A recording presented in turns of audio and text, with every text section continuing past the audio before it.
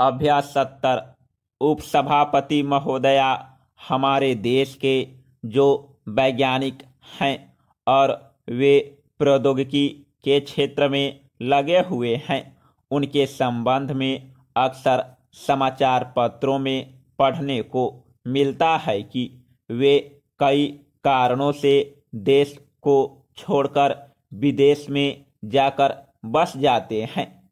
मैं भारत सरकार से निवेदन करना चाहता हूँ कि इन कारणों की जाँच होनी चाहिए कि क्यों हमारे वैज्ञानिक आत्महत्या कर लेते हैं या विदेशों में जाकर बस जाते हैं।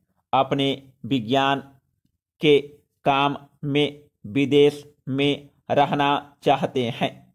इस देश में नहीं रहना चाहते हैं। इन शब्दों के साथ मैं एक बार फिर सारे वैज्ञानिकों के प्रति प्रौद्योगिकी के क्षेत्र में काम करने वाले वैज्ञानिकों और कर्मचारियों के प्रति और उनके साथियों के प्रति आभार प्रकट करता हूँ और विश्वास करता हूँ कि हमारे देश के वैज्ञानिक इस देश को आत्मनिर्भरता की ओर आगे बढ़ाते रहेंगे। Paragraph change.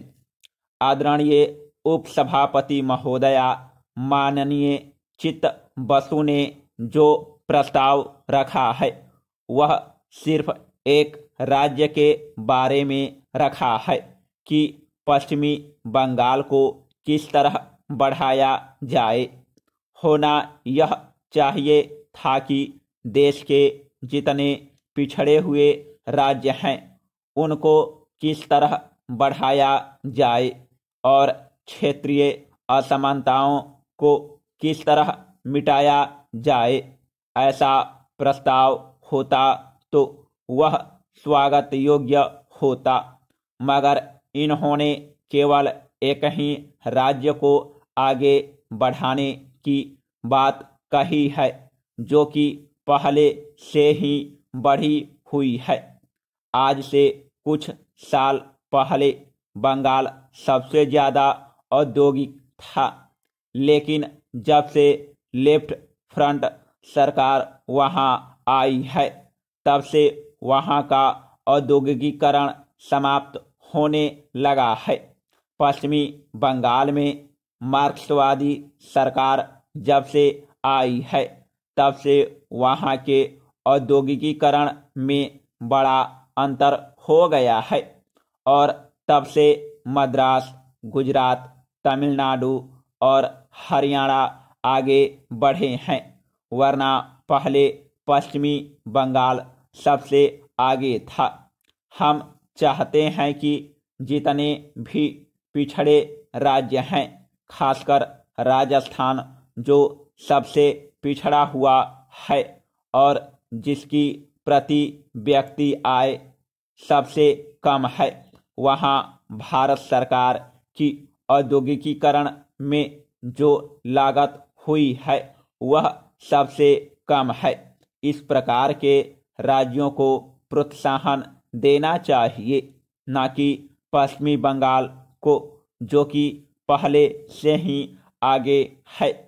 हमारे यहाँ के तमाम पूंजीपति बंगाल में बैठे हुए हैं और उन्होंने वहाँ उद्योग लगा रखे हैं।